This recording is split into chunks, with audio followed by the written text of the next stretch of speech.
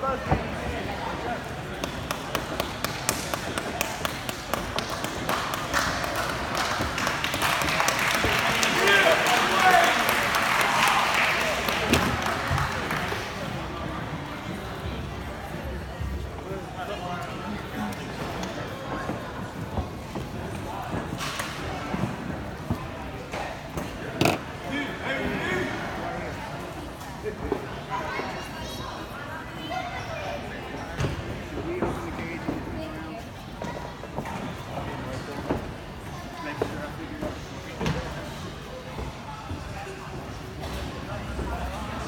Right, ladies and gentlemen, we are set to go with our next bout of the evening. It will feature three rounds of mixed martial arts at 130 pounds. And introducing once again the man in charge of the action after the bell rings, your referee, Mike Dolman.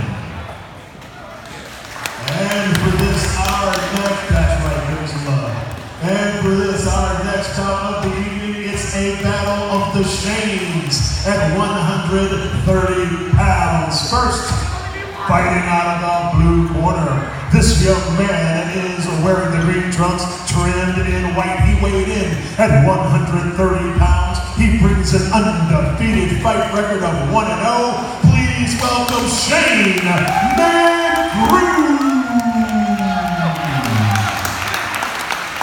And introducing his opponent in the red corner, this young man is wearing the black trunks trimmed in white. He also weighed in at 130 pounds. Tonight, making his Mix It Up Sports debut, please welcome Shane Lyons.